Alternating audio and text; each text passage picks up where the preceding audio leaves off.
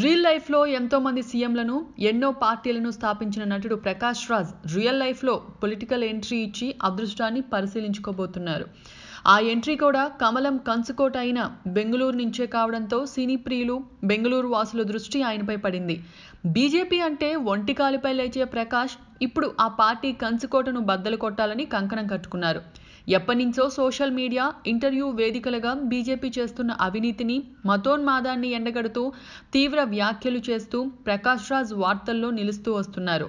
తాను రాజకీయాల్లోకి వస్తున్నానని ఇప్పటికే ప్రకటించిన ప్రకాష్ తాజాగా ఎక్కడి నుంచి పోటీ చేస్తారనే దానిపై క్లారిటీ ఇచ్చారు. వచ్చే లోక్సభ ఎన్నికల్లో తాను బెంగళూరు సెంట్రల్ నియోజకవర్గం నుంచి బరిలోకి దిగనున్నట్టు తేల్చేశారు. ఏ పార్టీ తరపున తాను పోటీ చేయనని స్వతంత్ర అభ్యర్థిగా మాత్రమే పోటీ చేస్తానని మరోసారి స్పష్టం చేశారు. రాజకీయ నాయకులంతా దొంగలేనని వాళ్ళు కులాలు డబ్బు ఆధారంగా ప్రజలను చేరదీస్తారంటూ దుమారం రేపే వ్యాఖ్యలు చేశారు. అందుకే తాను ఏ పార్టీలోనూ చేరకుండా స్వతంత్రంగా పోటీ చేయడానికి సిద్ధమయ్యానన్నారు. ఇదిలా ఉంటే ప్రకాశించుకున్న బెంగళూరు సెంట్రల్ బీజేపీకి కంచుకోట. గత పదేళ్ళుగా ఈ నియోజకవర్గం నుంచి పీసీ మోహన్ ప్రాతినిధ్యం వహిస్తున్నారు. రెండు వేల తొమ్మిది రెండు వేల పద్నాలుగు ఎన్నికల్లో ఆయన్ను ఢీకొట్టలేక చతికిలబడిన పార్టీలు చాలానే ఉన్నాయి.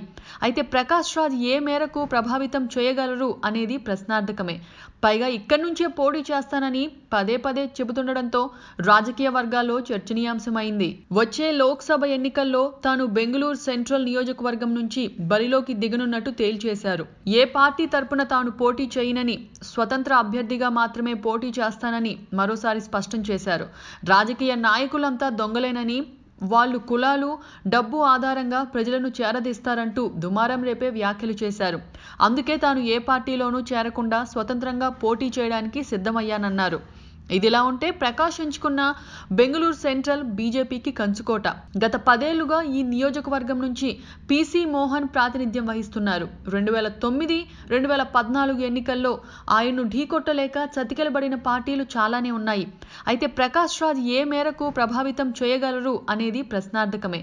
పైగా ఇక్కడి నుంచే పోటీ చేస్తానని పదే పదే చెబుతుండడంతో రాజకీయ వర్గాల్లో చర్చనీయాంశమైంది.